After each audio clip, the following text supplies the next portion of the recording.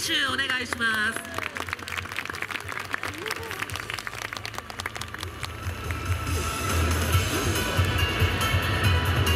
はいお預かりいたします。なるほど。参ります。脇本選手へのお題です。1軍デビュー戦3安打猛打賞。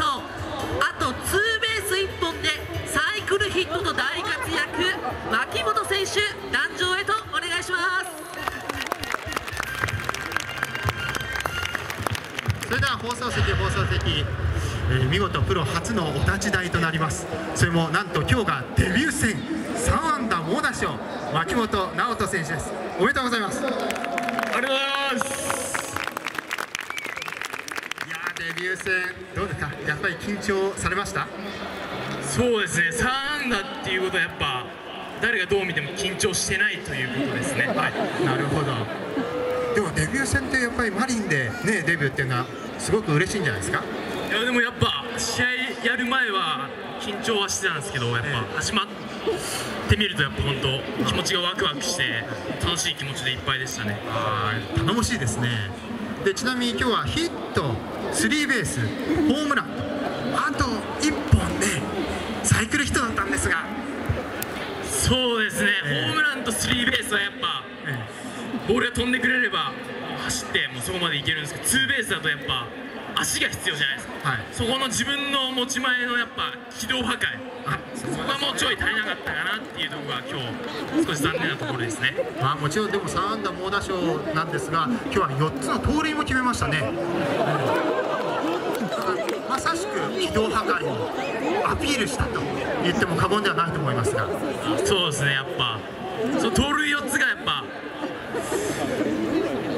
ツーベースを出せなかった原因かなということなんですけど、代わりの4つの盗塁が見事お立ち台につながったと自分を救ってくれたかなって思います。どうですか？誰に感謝したいですか？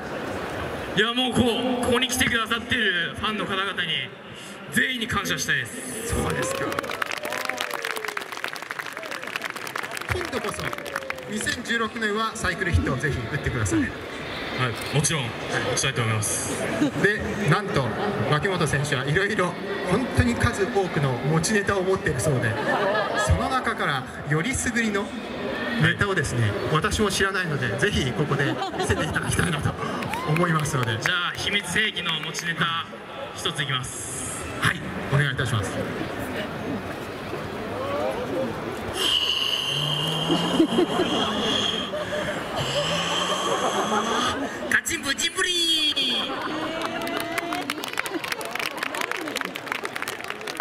立川さんコメントお願いします。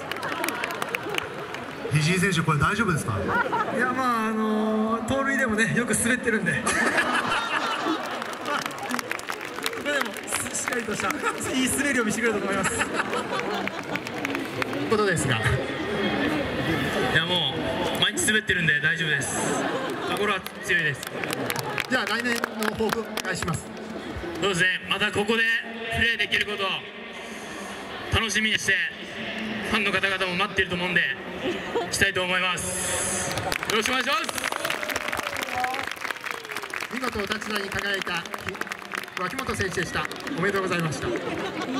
したとうございました脇本選手のヒーローインタビューお楽しみいただきました。さあどんどんと参りたいと思います。この感じでいきましょう。続いて宮崎選手。